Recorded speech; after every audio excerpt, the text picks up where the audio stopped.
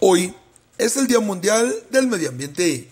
Por tal motivo, estudiantes de la telesecundaria Lázaro Cárdenas del Río de la comunidad de Los Llanitos llevaron a cabo actividades de reforestación, tanto en la escuela como en el campo de fútbol, aledaño a la comunidad.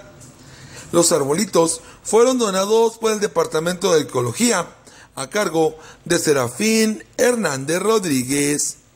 El día de hoy se conmemora el Día Mundial del Medio Ambiente y generalmente yo como docente llevo a cabo una campaña de reforestación, ya sea en mi escuela o sea en la comunidad. En esta ocasión la vamos a llevar a cabo eh, en esta escuela y en algunos lugares públicos de la comunidad, como es el campo que está aquí cercano a la escuela. Eh, la campaña consiste en reforestar, arbolitos alrededor del campo o bien eh, aquí en la escuela.